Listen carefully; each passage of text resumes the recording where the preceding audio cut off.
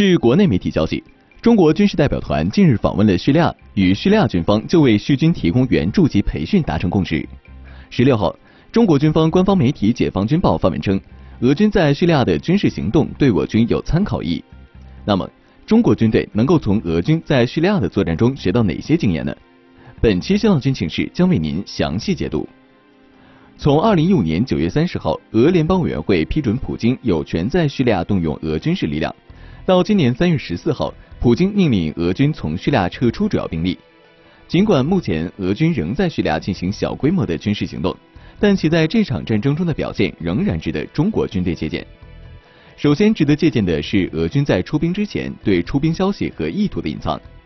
在俄军出兵叙利亚前的二零一五年九月，俄罗斯在其中部军区举行了年度最大规模演习，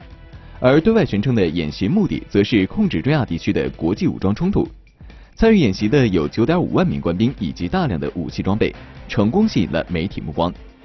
而到了二零一五年九月二十号，人们通过卫星在叙利亚最大港口城市拉塔基亚的阿萨德国际机场发现了俄军苏三零 SM 战机，这才突然发现，正是通过中央二零一五大规模演习掩护，俄军已悄无声息地将两个团的苏二四、苏二五、苏三四和苏三零 SM 战机，以及米八 S 和米三五武装直升机部署到叙利亚。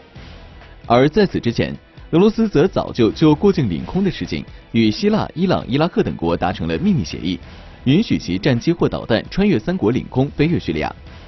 而为了保密，俄先期进驻叙利亚的战机甚至都未从距离叙利亚最近的南方军区或中部军区调遣。四架苏三零 SM 战机来自俄空军驻西伯利亚军区外贝加尔边疆区部队，苏二四二五攻击机则来自俄远东区驻滨海边疆区部队。这些飞机分两路飞赴叙利亚，大型运输机穿越希腊领空，作战飞机直接穿越伊朗和伊拉克领空。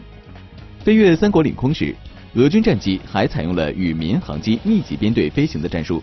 以民航机的雷达信号掩护军机飞至叙利亚。当然，世上没有不透风的墙。二零一五年九月中旬，西方情报部门和媒体就注意到俄向叙利亚运送装备和人员，但俄官方声称。运送的是难民物资和叙利亚订购的武器，成功的瞒天过海。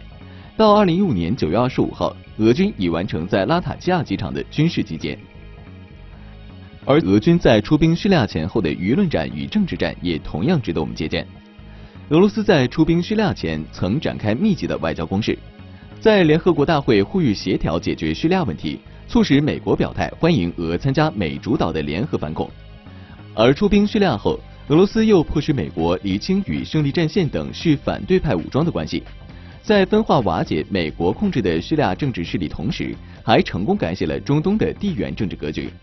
组建了由黎巴嫩、叙利亚、伊拉克、伊朗和也门部分地区组成的一个什叶派狭长地带，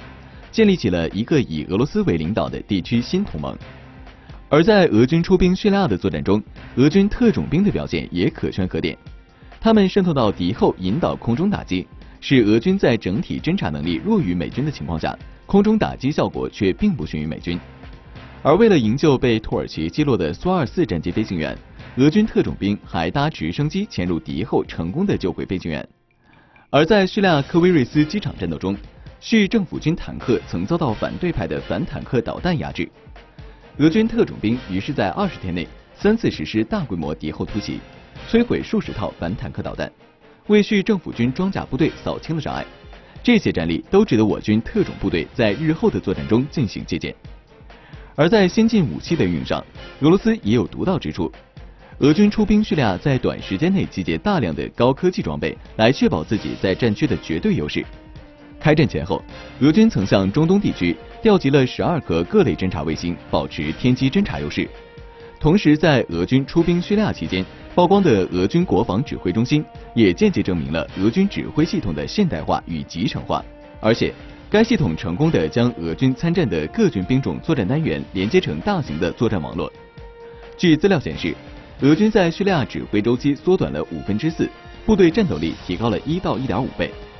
此外，俄军还运用了克拉苏哈四型电子战系统。成功的通过电子战干扰了美国等西方国家的情报侦察活动，确保了战场的制电子权。而在高科技战争极其重要的海上打击领域，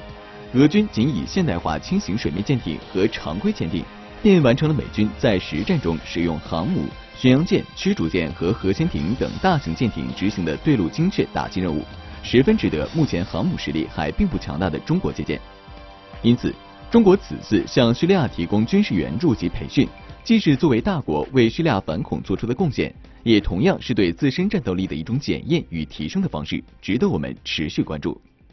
本期节目就到这里，欢迎您明天继续关注新浪军情室。